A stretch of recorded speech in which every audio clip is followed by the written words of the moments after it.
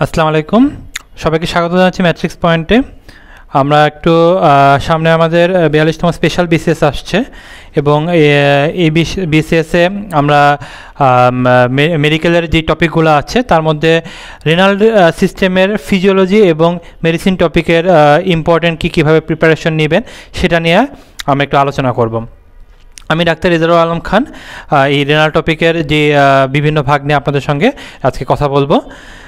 Renal টপিকে যদি আপনারা বিয়াল্লিশতম বিসিএসের সিলেবাসটা দেখেন, তাহলে ফিজিওলজি অংশে কিডনি এবং বডি ফ্লুইড এখানে আসছে mechanism of urine formation and concentration renal circulation renal function test regulation of body fluid একটু যদি ভাঙি, তাহলে এই মেকানিজম অফ ইউরিন ফর্মেশন এর মধ্যে কিন্তু আবার আমাদের যে গ্লোমুলার ফিল্ট্রেশন টিউবুলার রিয়াবজেশন সিপ্রেশন এই অংশটুক আসছে। আবার হচ্ছে ইউরিন কনসেন্ট্রেশন কীভাবে কনসেন্ট্রেশন হচ্ছে ডাইরেকশন হচ্ছে, এই মেকানিজমগুলো কিন্তু আসছে। রেনাল সার্কুলেশনের কথা চিন্তা করলে সেখান থেকে কিন্তু একটু রেনি অ্যাঞ্জিওটেন্সিন সিস্টেমের কথা এসে পড়ে। রেনাল ফাংশন টেস্ট এর মধ্যে উল্লেখ না থাকলেও কিন্তু ক্লিয়ারেন্সের কথাটা এসে পড়ে, আর হচ্ছে রেগুলেশন অফ বডি ফ্লুইড এর প্রথম যে তিনটা টপিক এই টপিকটা মূলত কিডনি ফিজিওলজির উপর, আর হচ্ছে নিচে যেটা, সেটা হচ্ছে বডি ফ্লুইড রেগুলেশনের উপর। ওকে আর মেডিসিনের টপিকগুলো যদি দেখি, প্রথমে হচ্ছে নেফ্রোলজি এবং ইউরিনারি সিস্টেম এর মধ্যে দেওয়া হয়েছে নেফ্রাইটিক এবং nephrotic syndrome UTI and pyelonephritis acute renal failure বা acute kidney injury chronic renal failure বা ক্রনিক কিডনি ডিজিজ এই, আর water electrolyte and acid base homeostasis এর মধ্যে diagnosis and treatment of specific fluid and electrolyte disorder এখানটা আমি একটা কথা বলি আপনাদেরকে। সেম সিলেবাস কিন্তু রেনাল সিস্টেমের পার্সপেক্টিভে একদম হান্ড্রেড পার্সেন্ট সেম সিলেবাস ছিল উনচল্লিশতম বিসিএসে কিন্তু এই সিলেবাসের ভিতরে যেই টপিকটুক শুধুমাত্র এই টপিক থেকেই যে প্রশ্ন এসেছে, সেটা কিন্তু না। আমাদের যখন হচ্ছে নেফ্রোলজি ইউরিনের সিস্টেম যখন আমরা বলেছি তখন কিন্তু এই নেফ্রোলজি যে ফুল চ্যাপ্টার সেই চ্যাপ্টারেরও আদার্স ইম্পর্টেন্ট কোশ্চেনগুলো কিন্তু আমাদের পড়তে হবে। শুধুমাত্র এই চারটা টপিক কিন্তু পড়লে হবে না।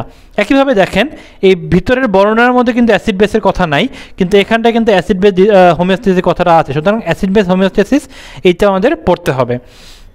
তো এই আমরা একটু যদি দেখি যে উনচল্লিশতম বিসিএসে সেম সিলেবাসের উপর কিন্তু কীভাবে প্রশ্ন এসেছিল? রিনাল ফিজিওলজি থেকে এসেছিল ক্লিয়ারেন্স ভ্যালু অফ গ্লুকোজ কিন্তু সিলেবাসের মধ্যে কিন্তু সরাসরি ক্লিয়ারেন্স কথাটা কিন্তু উল্লেখ ছিল না। বডি ফ্লুইডের ভিতর ছিল daily loss of fluid in the faeces clinical যে নেফ্রোলজি পার্টটা এখানটা ছিল অ্যাবনর্মাল কনস্টিটিউয়েন্ট অফ ইউরিন এটাকে আপনি ক্লিনিক্যাল নেফ্রোলজি পার্ট হিসেবেও চিন্তা করতে পারেন, আবার রেনাল ফাংশন টেস্টে পার্ট হিসেবেও চিন্তা করতে পারেন। Drug causing increased uric acid level. Adult polycystic kidney disease is a condition of and nephrotic সিনড্রোমের কারণগুলা। ঠিক আছে? এই হচ্ছে নেফ্রো ক্লিনিক্যাল নেফ্রোলজি আর ইলেকট্রোলাইটের মধ্যে ছিল হচ্ছে serum sodium level which of the following may cause hypercalcaemia ঠিক আছে?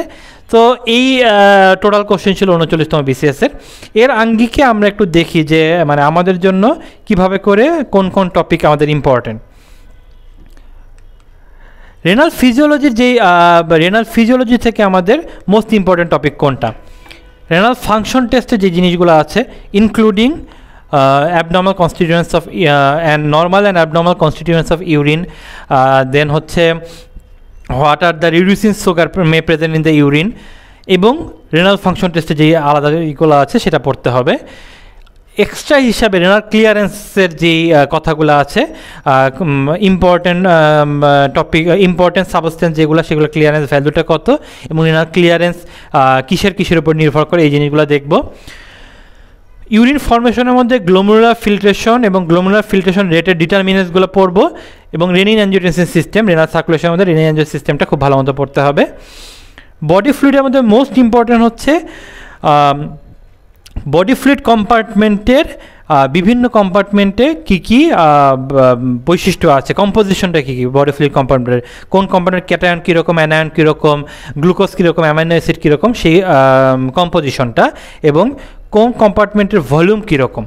এই বৈশিষ্ট্যগুলো হচ্ছে বডি ফ্লুইডে ইম্পর্টেন্ট ইলেকট্রোলাইট ডিসঅর্ডারের ক্ষেত্রে আপনারা পড়বেন সোডিয়াম পটাশিয়াম ক্যালসিয়াম এর hyponatraemia hypokalaemia hypo hyponatraemia hypernatraemia hypokalaemia hyperkalaemia hypocalcaemia hypercalcaemia এর কারণগুলা। প্রতিটার কারণগুলা অবশ্যই অবশ্যই এগুলা পড়ে যাবেন।